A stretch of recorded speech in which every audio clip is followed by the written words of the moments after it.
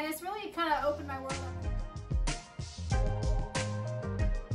Okay, my next project that I did not intend to have waking up today, I bought tap shoes, but they haven't come in the mail. So I have made coin taps because I just have to start tapping immediately. So I've got my duct tape and I've got my coins and my shoe. And I just thought it'd be kind of fun to tap in Converse anyways.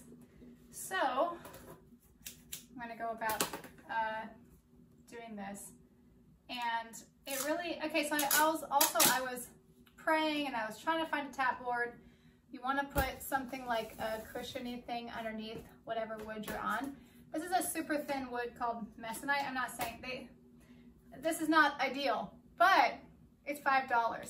And so I was like, yes, I think I want to have something like that. And it fits perfectly in my kitchen. And so basically you just take, this is just a short term thing. I don't even know if I'm where to put them exactly, but I, what do I do with the other one? This is not a perfect one either, but it is working. And you will have some shoes. I just covered the back and the front. I looked at two different people's um, videos and they had different ideas about what to do. But you basically have the tap shoe. I'm so new to tap. I don't, I'm very much a uh, YouTube learner. And you, the middle, middle of the shoe right here is where you are gonna get a lot of your sound from. And this will take you where you need to go. I don't know if you should put the tap, the shoe, the things down first and then put the tape on or not. Now the nickels are better than I think the quarters because they're thicker. Um, I've got like these like silver dollars. Ah, I don't have enough nickels. Where'd my other nickels go? Well, oh well. But I just can't believe that this works and I'm gonna be tapping in no time. I like to put some by, by the edges. Let me think. I put, yeah. I think I used all my nickels over here. Well, that's gonna have to work. The bang. And this one. They say that necessity is the mother of invention.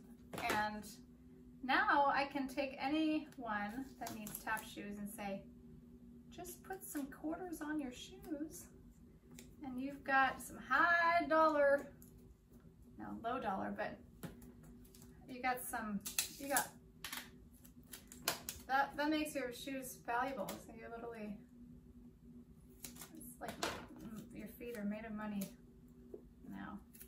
So they say this will work for about two hours. And the tap dance routine that I want to learn is about an hour. So I just want to, I just want to, I don't know. I just want to tap, that's all. And these sound, I think they sound all right. So you too can make your own tap shoes at least for now. And you can actually take real, can actually take real taps and put them on the bottom of any shoe. Glue them on, or um, you can buy the metal little tap things and glue them onto your shoes. Hmm. Well, hopefully that does the trick, everybody. Now I need to get more duct tape.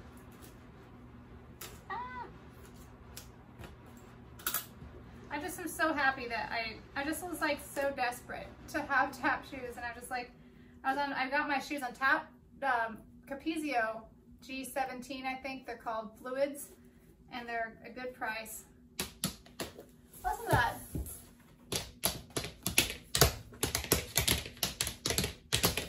Now I should put them on and it's really kind of opened my world up to knowing that I can take any shoe and make them a tap, not just the coin taps, but like uh, this other girl, she used washers on the bottom of her shoes.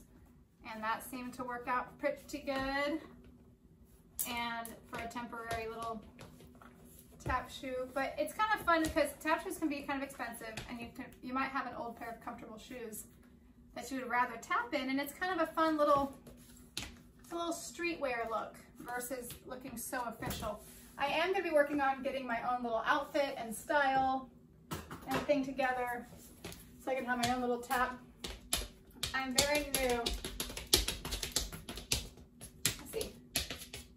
Oh, they say that loosen your ankles.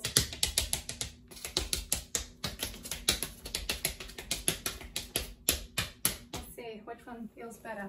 I think my this one does, but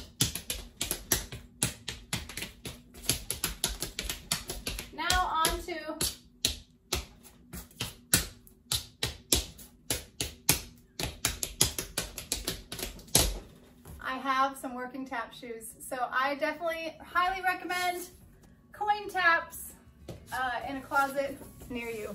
God bless you. Bye.